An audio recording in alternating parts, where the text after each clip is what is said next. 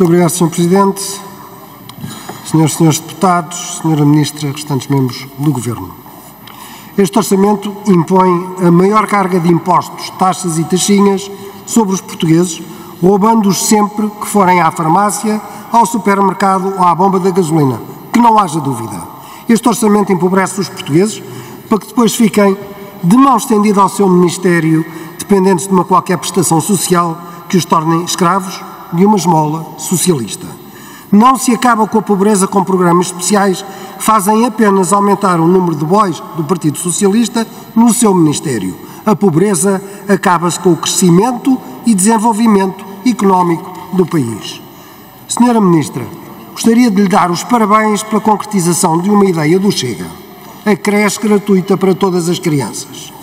Projeto que a senhora batizou de creche feliz e implementou já lá vão mais de dois anos, mas que deixa ainda milhares de crianças sem vaga.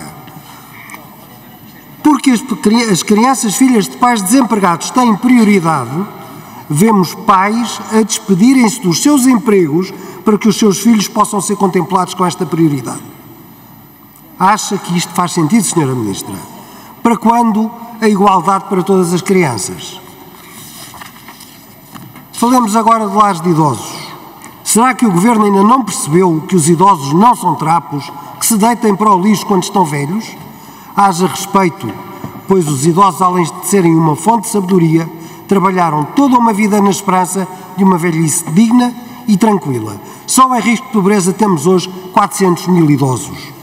Porém, segundo, segundo a Confederação Nacional das Instituições de Solidariedade Social, faltam mais de 50 mil camas. 50 mil camas. Senhora Ministra, o número de pessoas a viver na rua cresceu perto de 78% em quatro anos. Estes números reportam-se a 31 de dezembro de 2022. Neste momento, Portugal ocupa o sexto lugar no ranking dos países com mais pessoas sem abrigo, o que é vergonhoso para um governo que tanto se gaba das suas políticas sociais.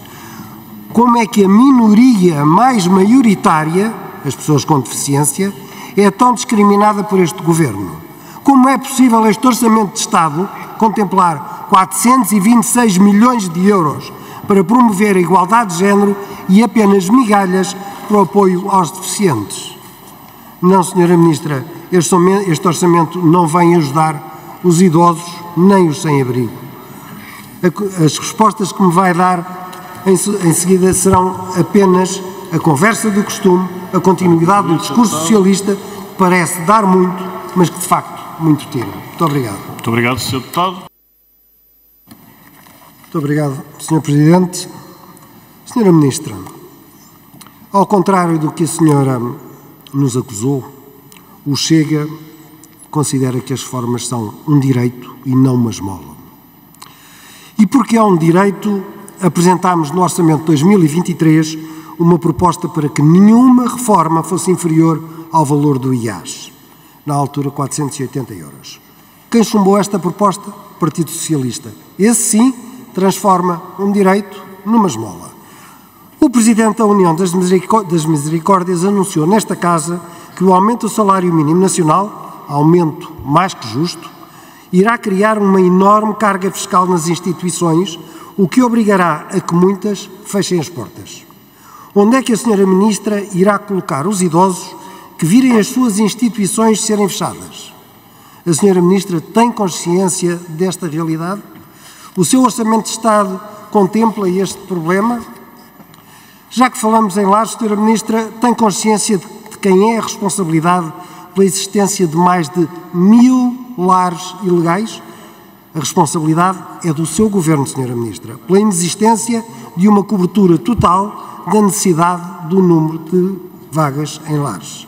Como é que é possível, ao oitavo orçamento socialista, este problema ter tendência a agravar-se?